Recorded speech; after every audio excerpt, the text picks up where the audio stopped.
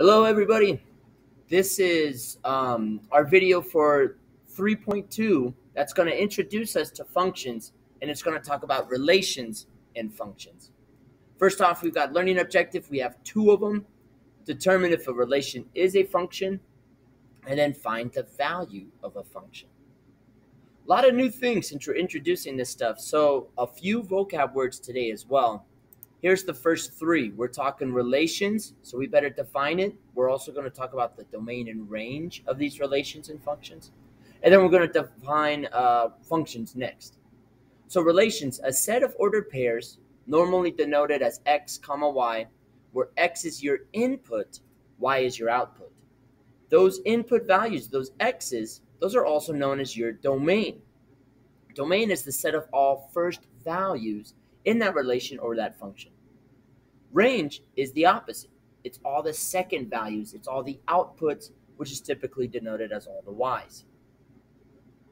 The last word, oh, actually, before I go to that, take a look at a few examples. These are different relations in table form. You have an input versus an output. All of those numbers would be your domain. They're all your inputs.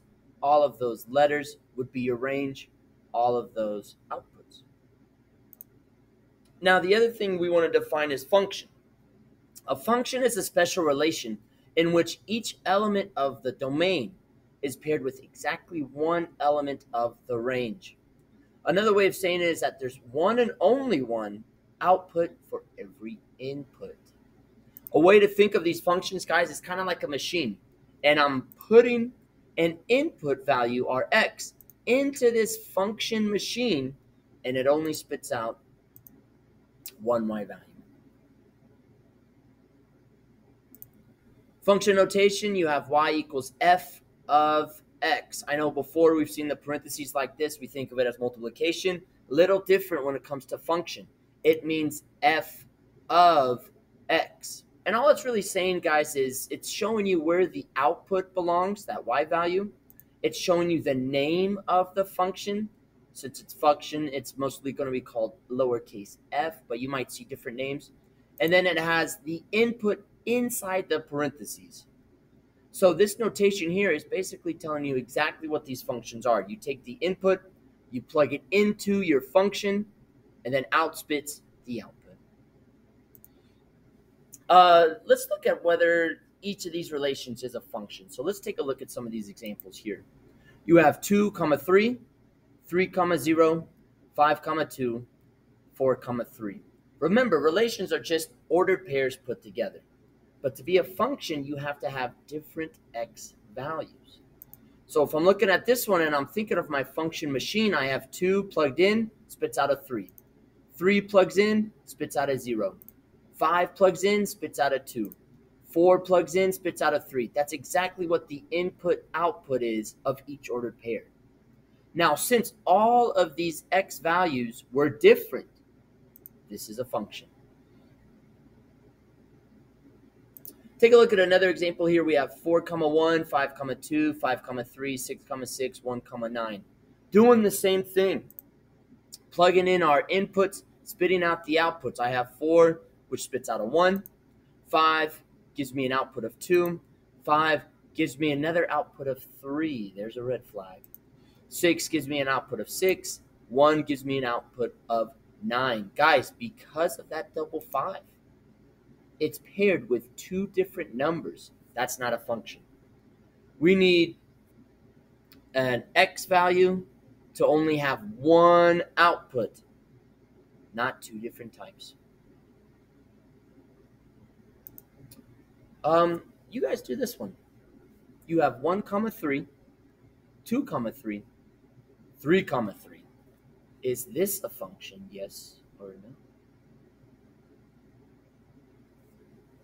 For this problem here, guys, it is a function. You have different x values, one, two, three. Yes, all those y's are the same, and maybe that's where we got tricked up if we did, but it's all about the x values when it comes to functions. Are they different? We're good.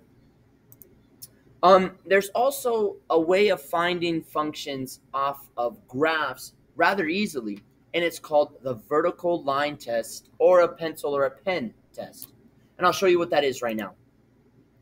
vertical line passes through more than one point of the graph, then it's not a function. It would be an x value with more than one output, not a function. So take a look at these examples here. You have this straight line going across the graph in this direction.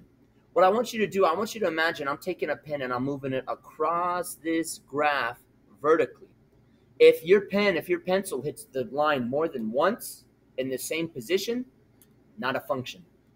Another way to visualize that, you've got a bunch of vertical lines. Ugh. Take a look at each time it hits the red line, each time it hits our graph. Well, it looks like it only hits one at each point. Because of that, function. There's no repeating x values. Here's another example. We have this U-shaped graph. This is called a parabola, a quadratic function, but we'll get to that much later on. Taking my pen, working through vertical line test. Each time the red line only hits once. This is a function. I got a third one on this slide here. We're looking at this circle. I guess it's more of an oval type shape. But we're looking at this here. Imagine that pen moving across this thing. Does it hit more than once? If you can't imagine it, take a look at those vertical lines. Do those black vertical lines hit the red circle more than once? The answer is yes, they do. So it's not a function. Take a look at our line right down the middle. We have it hitting up top and then down below as well. Now, you could argue it only hits once because this line right here only hits once. But, guys, in any part of your graph, if it hits more than once, not a function. So, since it hits the top of the circle and the bottom, it hits twice at each point, not a function. I got a few more. Uh, taking a look at this horizontal line going across, that's a function. Taking a look at this vertical line going straight up and down, I mean, that's kind of obvious, right? It hits more than once vertically. That's not a function. Taking a look at this one here, it's another quadratic. This time it's going to the right. Thinking of those vertical lines, hits more than once, not a function.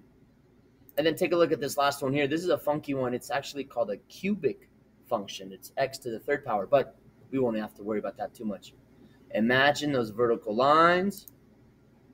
Turns out they only hit once. This is a function. You guys try this one here. This is an absolute value graph, which I don't think we talk about till algebra 2. But just for the sake of the vertical line test, is this a function? Yes or no? Turns out this is a function. If I'm doing my vertical line test, it only hits once vertically at each point. No repeating x's means we have a function. Um, I believe there's one last thing I want to go over. Yes, guys, it's it's evaluating, it's solving with these functions. You have f of x equals 3x minus 2. Remember, that's not f times x, that's f of x. This is our function name with our input value inside the parentheses. They're going to give you a regular function like that, and then they're going to ask you to find f of 3 all that means is you take that value, you plug it in for x or that variable whenever you see it. And then you just focus on that side. So for this one, I'm going to take that 3, plug it into my function machine, and replace the variable with that input value, with that input number. And then I just solve away. I have 3 times 3 minus 2. Working with our order of operations, I should multiply first, that gives me 9 minus 2, which gives me 7.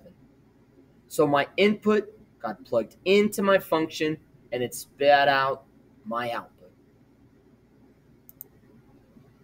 So f of 3 equals 7. Here's another one, same function. So we have f of negative 2. Again, taking that input, plugging it into my function, replacing the variables with my value. So I have 3 times negative 2 now minus 2. 3 times negative 2 is negative 6. Negative 6 minus 2 gives me an output of negative 8. So f of negative 2 equals negative 8. Let's do some more. Here's a crazier looking one, but it's the same kind of idea. We're going to find h of negative 3 just by taking our value and plugging it into my function. Whenever I see that variable, that's what I replace with my input. So now I have negative 3 squared instead of z squared. I have negative 4 times negative 3 instead of negative 4 times z, and I have the plus 9 just like before. Negative 3 squared means negative 3 times negative 3. Multiply those together, you get positive 9. Negative 4 times negative 3 gets you positive 12. So you end up having 9 plus 12 plus 9. That gives me an output of 30. So h of negative 3 equals 30.